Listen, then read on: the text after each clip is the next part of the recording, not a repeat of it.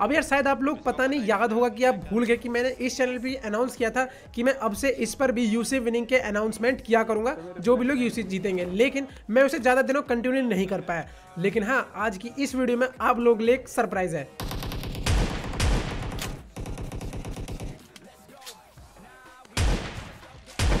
अब बात करें इस गेम प्ले की तो ये है एक trio versus squad game play जिसमें हम लोग कोशिश कर रहे हैं कि मास्टर को ज़्यादा किल में। लेकिन भाई, किस्मत को कुछ और ही मंजूर था।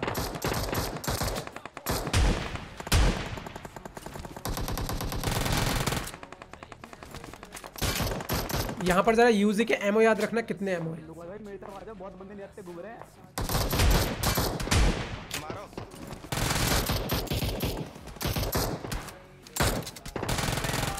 और उसी गलती की वजह से मास्टर मर गया।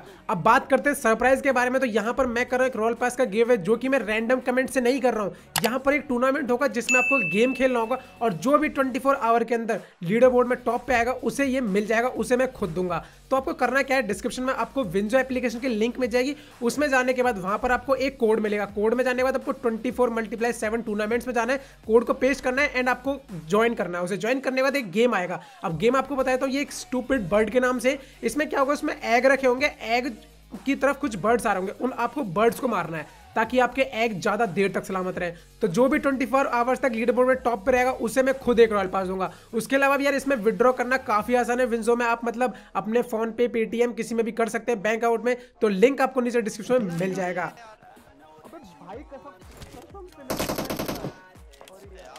तो मैंने बोला था ना किस्मत को कुछ और ही मंजूर था। हम ये गेम प्ले मास्टर के लिए रिकॉर्ड कर रहे थे, भाई मास्टर ही मर गया। अब कोई नहीं, और आज मैं गेम थोड़ा अलग तरीके से खेलूँगा। आज भाई साहब हमारी एक एम सिक्स एक्स चलेगी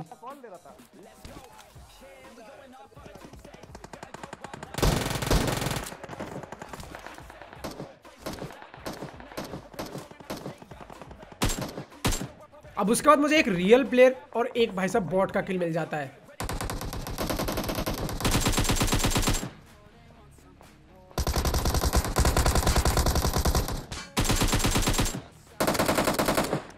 अब यहाँ पर केवल दो ही बंदे थे जिनको कि भानु ने नॉक करके वहीं की वहीं खा गया।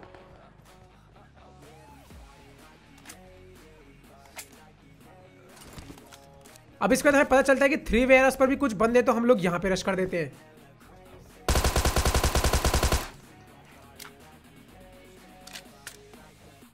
अब मैं यहाँ पे रश तो कर रहा हूँ, लेकिन मैं यहाँ पे जिग जाऊँगा, जिससे कि अगर वो जिस भी बार मुझे प्रीफायर लेगा, मैं तुरंत कवर ले पाऊँ।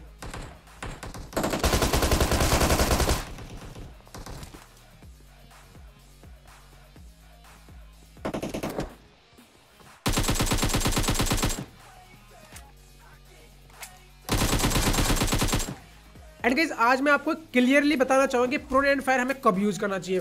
प्रोन एंड फायर आपको तब यूज़ करना चाहिए जब बंदा आप पे प्री फायर कर दे। हाँ क्योंकि प्री फायर करते समय वो ये बिल्कुल भी एक्सपेक्ट नहीं करे कि यार आप प्रोन भी हो सकते हो, ठीक है?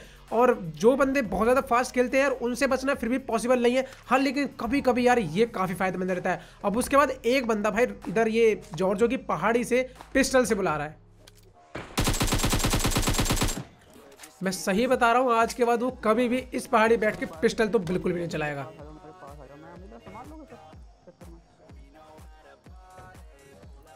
अब उसके बाद भैया, हमने यहाँ पे फ्लेयर चलाई और फ्लेयर चलाने के बाद आज यहाँ कितने मेहमान आएँगे ना, ये आई थिंक मेरी आज तक की वीडियोस में सबसे ज़्यादा होने वाले ये लोग गिनो मुझे पता है ये कम है। भाई, अभी देखो और भी आने वाले अब जैसे मैं इनसे बात करूँ, भैया और बंदे आ रहे हैं। ये कौन है कि नहीं ये पता नहीं पता नहीं कौन है पता नहीं। भाई और भी आ मतलब ये एक दूसरे को जान भी रहे हैं। अब इतने बंदे आ गए कि ये लोग एक दूसरे को नकार रहे हैं कि भाई हम तो इसे जानते नहीं ये कौन है? भाई मुझे लगा कि यहाँ के अब हालात बिगड़ने वाले तुरंत मैंने भैया यहाँ से जाने का फैसला किया। और ये बंदे जो ये गाड़ी लेके आए थे मैं इनकी गाड़ी लेकर निकल लिया। और डर इतना कि कहीं ये हमें अपनी गाड़ी के चक्कर में न मार दें। अब उसके बाद जो हम लोग यहाँ रोजहॉक से होते हुए स्कूल अपार्टमेंट की तरफ़ जब जा रहे थे, तभी हम पे एक फायर आया।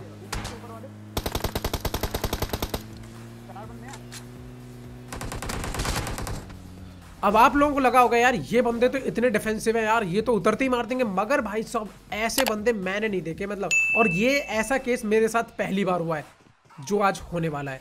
तो फ़िलहाल यहाँ पर देखिए, जब बंदे रश नहीं कर रहे, ना ही कुछ कर रहे तो हम सबसे पहले यहाँ पे थ्रोएबल्स का यूज़ करने वाले हैं।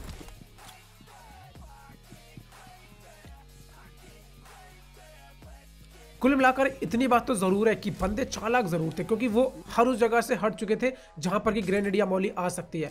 और ये मौली मुझे पता नहीं कैसे नीचे आया क्योंकि ये गई तो ऊपर थी, और भाई मेरे पीछे लग गई। अब इसके बाद जो है भैया, सारे ग्रेनेड हमारे खत्म हो चुके हैं, कुल मिलाकर एक ही रास्ता है, और वो है रश। और हमने यहाँ पे रश कर दिया।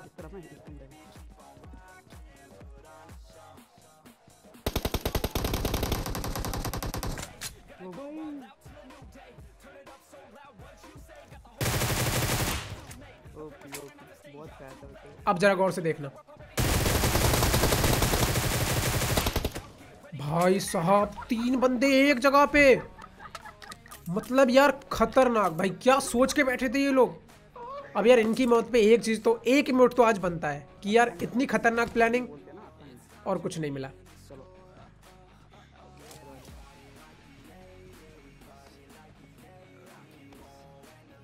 अब उसके बाद हम गाड़ी को लेकर यहाँ पे आते हैं, पोचिंग की तरफ़, तभी हमारा फ्यूल खत्म हो जाता है और लकली मेरे पास जो है आज गैस कैन भी थी तो मैं यहाँ पे रिफ्यूलिंग करने लगा। और जैसे हम यहाँ से निकलने वाले थे कि भाई तभी एक गाड़ी पीछे से आ गई।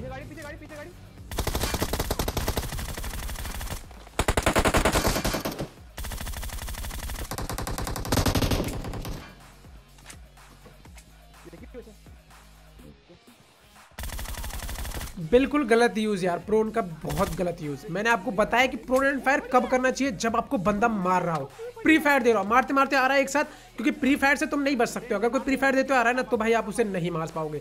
हाँ लेकिन उसके एक ही तरीका या तो जंप एंड फायर या फिर प्रोन एंड फायर और भैया, इसके बाद जो है जोन में सारे वो बंदे मिलके, जो कि हमें जॉर्जोपुर में मिले थे, और सबसे हम लोग करने वाले थे यहाँ पर हील चैलेंज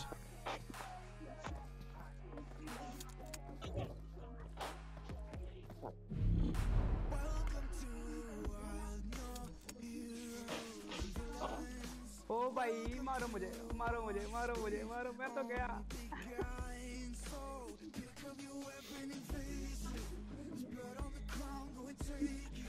एंड गाइस एक और है चिकन डिनर लेकिन आज की इस वीडियो में आपके लिए दो चिकन डिनर मिलेंगे।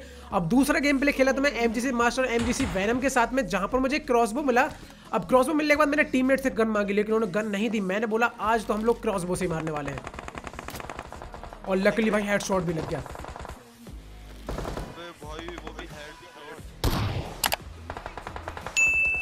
अब उसका जैसे हम लोग गन मिल जाती है, हम लोग तुरंत यहाँ पे रश कर देते इससे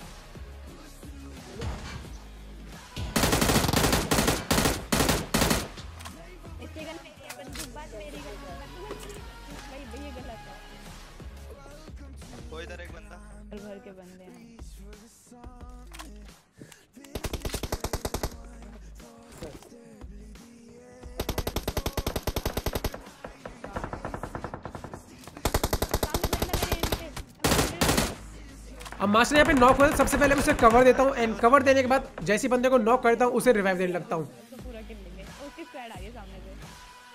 अब रिवाइव देने के बाद यहाँ पर एक दूसरी स्कॉड थी।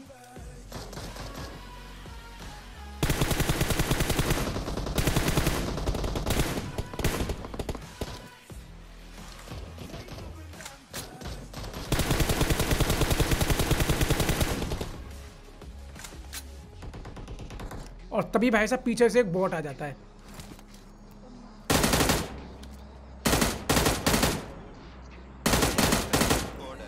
इतने में एक बॉट को मारा था भाई, उधर मेरी टीम संकट में बैठी थी।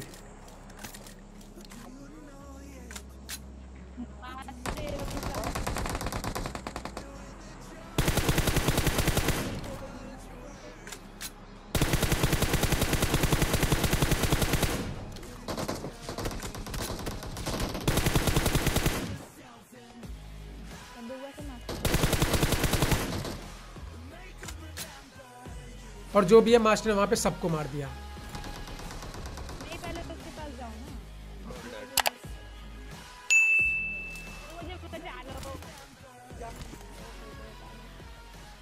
अब इसका जॉर्ज बुल सारा क्लियर करने के बाद हमें एक फ्लेयर दिखती है और जो कि पता चलता है कि भाई कोचिंग की वाले घरों के पीछे है।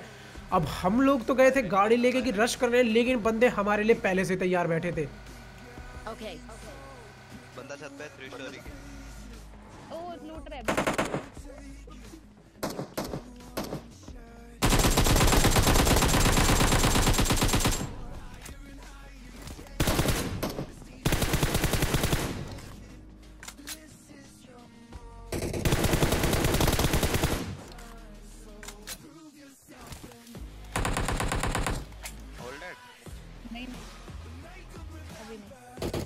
वहाँ वाली टीम को क्लियर करने के बाद हम लोग ब्रिज पे आ गए और आज जोन कुछ इस तरीके से बना था कि हर टीम को ब्रिज के पार ही जाना पड़ेगा।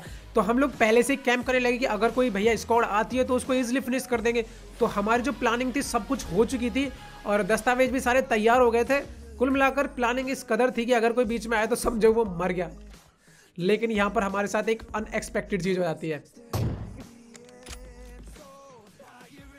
और सबको पता है कि वो होती क्या है। कि जब आप ब्रिज कैंपिंग करने जाते हो कि तभी गाड़ी पीछे से आ जाती है। और हमारे साथ भी कुछ ऐसा ही हुआ।